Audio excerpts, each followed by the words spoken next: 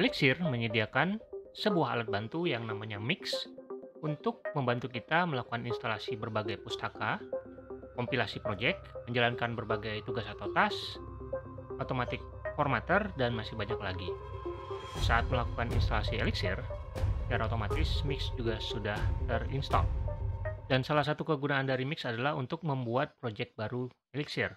Ketika program sudah cukup kompleks, kita membutuhkan struktur folder dan mekanisme yang lebih komprehensif daripada sekedar menjalankan Elixir dari sebuah atau beberapa file. Kita bisa menjalankan mix dengan perintah mix di terminal dan kemudian kita bisa melihat apa saja tas-tas yang bisa dijalankan oleh mix seperti mix test, mix run, mix release, mix new yang akan kita gunakan sebentar lagi, kemudian juga bisa mix depths get untuk mendapatkan dependensi dan menginstal berbagai pustaka, mix compile untuk melakukan kompilasi dari project dan lain sebagainya.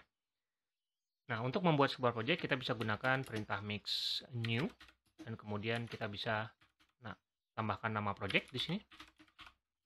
Misalkan kita akan membuat sebuah aplikasi yang namanya cleanup URL. Jadi kita memberikan URL yang sudah berisi dengan beberapa marketing text gitu untuk query stringnya dan kemudian akan dihilangkan oleh si program ini contohnya.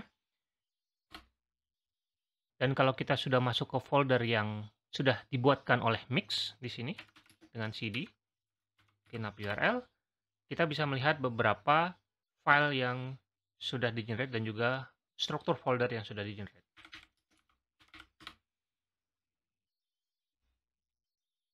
Di sini ada formatter.ex, itu adalah konfigurasi untuk automatic formatting untuk linter.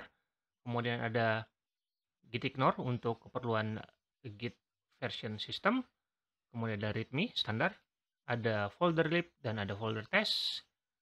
Folder lib ini adalah source code kita yang nanti akan kita buat selalu ada di dalam folder lib dan test adalah semua tes yang akan kita buat akan berada di folder test. Dan salah satu file yang paling penting di Project Elixir adalah mix.exs. Mix.exs ini adalah konfigurasi utama dari project kita. Menyimpan berbagai informasi seperti dependensi, eh, aplikasi yang dijalankan, dan informasi project secara umum. Mix juga mengenerate file di lib. Jadi kalau kita lihat di ls lib di sini ada sebuah file dengan nama cleanupurl.ex. Ini adalah source code kita. Nanti berbagai fungsi dan juga source code yang akan kita ketik akan berada di file atau di folder ini. Kita bisa langsung melakukan kompilasi dengan mix compile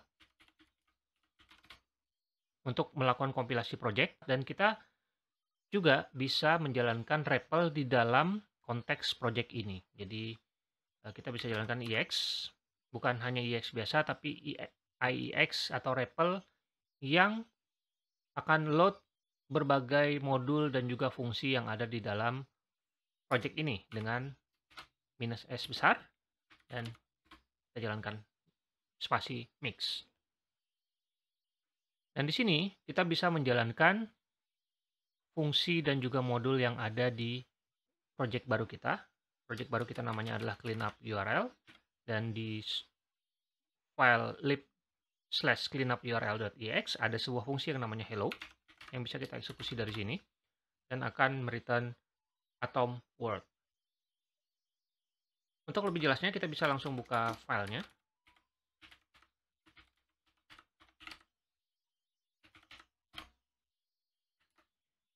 Ini adalah file yang di-generate oleh Mix dan di sini ada sebuah fungsi hello dan akan mereturn world. Dan kita bisa mengubah ini untuk contoh, misalkan kita tulis elixir dan kita save. Kemudian kita kembali ke REPL IEX dan kita bisa melakukan kompilasi ulang tanpa harus keluar dari IEX. Jadi ketika ada perubahan di source code kita bisa melakukan kompilasi dengan recompile langsung dari REPL atau IEX dan sekarang kalau kita jalankan lagi cleanup url.hello maka tidak lagi menjadi world tapi adalah atom elixir. Mix juga dapat kita gunakan untuk melakukan instalasi berbagai versi dari pustaka Elixir atau Erlang beserta dependensinya. Misalkan kita ingin menambahkan pustaka TimeEx untuk memanipulasi tanggal dan jam, kita bisa mencari pustaka tersebut yang tersedia di sebuah web dengan alamat hex.pm.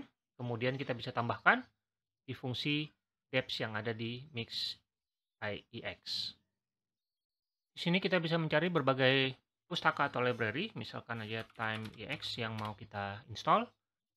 Dan di sini kita bisa menambahkan konfigurasi di mix IEX-nya dengan menambahkan atom timex dan juga beserta versinya. Kita copy aja dan kemudian kita buka file mix IEX di sini dan di bagian bawah ada dependensi dan kita bisa tambahkan. Di sini adalah timex dengan versi di atas 3.7 kita save dan kemudian kita bisa menuju ke terminal untuk melakukan download pustakanya dan melakukan instalasi atau kompilasi dengan mix deps.get dan sekarang kita sudah bisa menggunakan Timex baik itu di source code maupun di REPL IEX. Kita coba di source code, kita bisa cetak timex.now